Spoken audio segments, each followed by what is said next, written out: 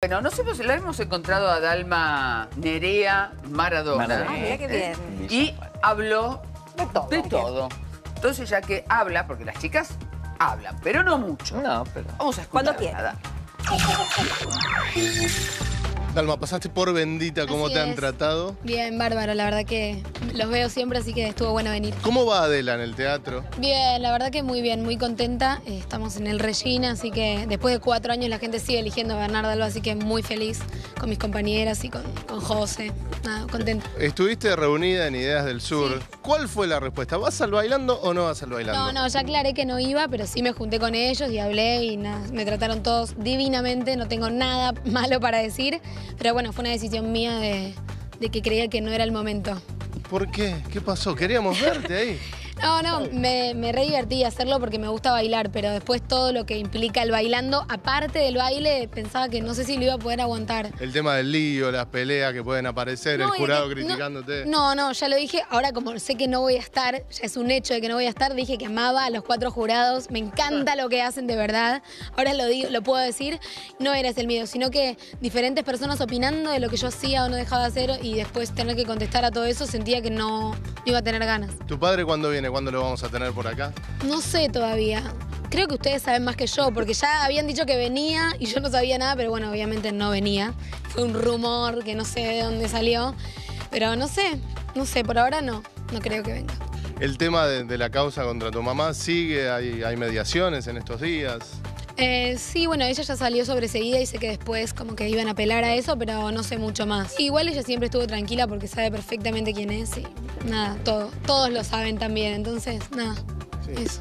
¿Y pueden pasar así la- las cenas, no sé, fin de año, Navidad, esas cosas? Habían tenido una, una cena en armonía el año pasado, eso se, se puede, sigue, más allá de todo. Sí, de hecho mi hermana lo contó, que no sé qué día antes de, de la mediación o qué, se habían juntado a tomar mate. Yo no estaba. No sé si estaba Rocío o no, que estaba mi mamá, mi papá, mi hermana, Benjo, así que. No sé. Yo no, Bien, estaba, no entendí mucho esta parte, pero. Era un clima tranquilo, estaba todo Sí, bien. re, no, obvio. Sí, estaba. Sí, pero bueno. Dentro de todo, raro. ¿Cómo termina esto? ¿Se sabe cómo sigue o no? No, no sé. Espero que termine pronto para que ya no me tengan que perseguir y preguntar cómo va, cómo viene, qué va a pasar y qué sabes, qué no sabes, tu mamá, tu papá. Pero bueno, entiendo que son las reglas del juego y espero que se solucione rápido así. Nada, podemos hablar de otra cosa. Divina, Sí. Dalma, que seguramente nos están mirando, sobre todo Claudia, que les mando un beso grande. Bueno, Va a terminar en nada. nacimos en, en ese, en ese hogar y hay que bancarse el apellido. Dalma sigue teniendo relación con el padre vía telefónica, no, no la Sí. cortó ni, ni aún en el peor momento cuando surgieron todas las denuncias. Eh, Sí, ni- Dalma sigue hablando con el padre. Ni aún defendiendo, como siempre defendía públicamente a su mamá. Y digo, lo bien que hizo, ¿no? En bajarse el bailando, porque tanto la criticaron a Verónica Ofe- a Ojeda cuando decidió participar, que digo, si ellas ahora en definitiva participaban, iban a tener que bancarse el Igual no te, no te olvides de un detalle menor. Estaba negociando también con Diego Junior, con lo cual que estuvieran los dos en la misma Ah, pista sí, de bailando iba a ser realmente un lío Claro. importante. Bueno, estuvimos justamente hablando de Claudia con el doctor Fernando Burlando, su abogado patrocinante. Le preguntamos de todo también por el doctor Stinfale y esto nos dijo. Ay, a ver. ¿Cómo está Conci? Está, no, no está bien, realmente no está bien, la está pasando mal. Este, y me parece un, un grave acto de, de injusticia eh, que esté detenido tanto él como Víctor Stinfale, los dos. ¿Cómo está la causa? Bueno, pleno trámite, eh, con secreto de sumario y haciendo medidas.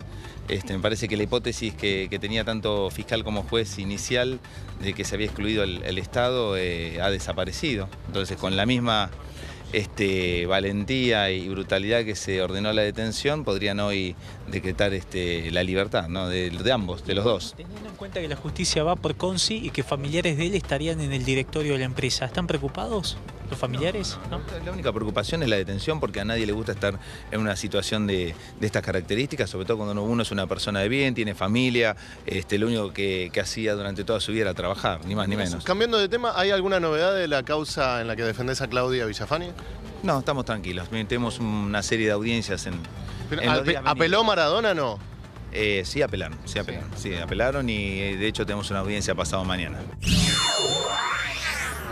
Bueno, muy bien. Ahí estaba el doctor Burlando hablando de, de los dos temas, ¿no? O- obviamente el de Claudia que le Sí. ocupa más Sí, y, pero- y la, y la- y la pregunta sobre los temas de actualidad como es el tema de, de Conci y... Yo de. Costa. Pero Susana, recordemos que están todos los, los temas mezclados, porque Stinfale, su buffet con Morla son los abogados patrocinantes de Maradona. Sí. Claro. O sea, con lo cual, digo, más allá de que él defienda a Claudia, Sí, sí. Stinfale es el, el socio de Morla que, está defendiendo a Claro. Maradona. Mal momento claro, para Morla. Stinfalde en este momento. Sí.